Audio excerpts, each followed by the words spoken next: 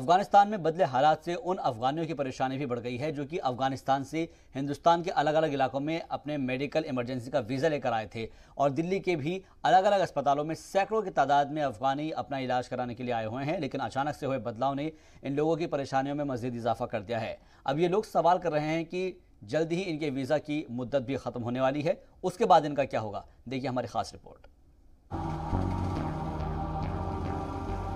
अफ़गानिस्तान के मज़ार शरीफ के रहने वाले मीरबाइज की वालदा को ब्रेस्ट कैंसर है और वो उनका इलाज कराने के लिए तकरीबन एक महीना पहले अपनी अहलिया और बेटे के साथ दिल्ली आए थे।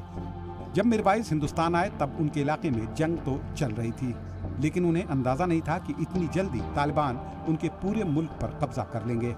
ऐसे में मीरवाइज के सामने अब बड़ा बहरान पैदा हो गया है। हमारा जो मम्मी है वो ब्रेस्ट कैंसर है, उसका इलाज चल रही है मैक्स अस्पताल में लेकिन हमारा वीज़ा जो है अभी एक माइंड से थोड़ा सा ज़्यादा बाकी है, बचा है।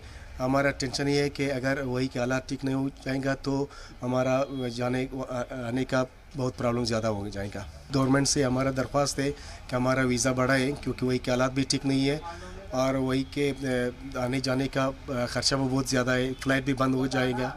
अभी तो बहुत मुश्किल पड़ेगा हमारा। We want to extend the visa and we request from government to extend our visa because we have a lot of problem right now and you know that all the embassy in Afghanistan is closed Delhi में अफ़गानिस्तान के हज़ारों लोग रहते हैं जिनमें पनागुजीन भी शामिल हैं। लेकिन सबसे बड़ी परेशानी उन लोगों के लिए है जो मेडिकल इमरजेंसी का वीज़ा लेकर हिंदुस्तान आए थे। जबीउल्ला भी उन्हीं में से एक हैं वो हिंदी या उर्दू तो नहीं बोल पाते लेकिन अपनी बात को रखते हुए वो कहते हैं कि उन्हें इस बात की बड़ी फिक्र सता रही है कि अगर उनके वीज़ा की मुद्दत नहीं बढ़ी तो फिर उनका क्या होगा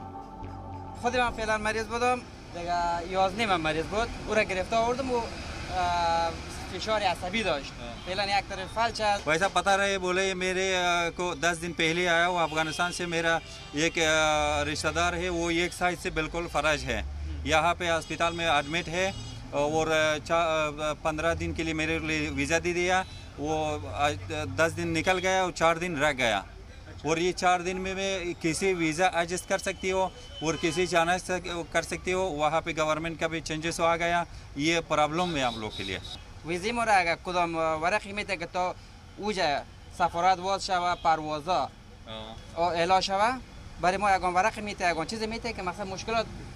वहाँ, वो मेरे लिए वीज़ा ज़रूरी है। अगर वीज़ा के प्रॉब्लम है, कोई लेटर मेरे को दे देगा, जब तक ये क्या है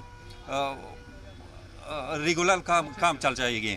इसलिए मेरे लिए लेटर देना पड़ेगा।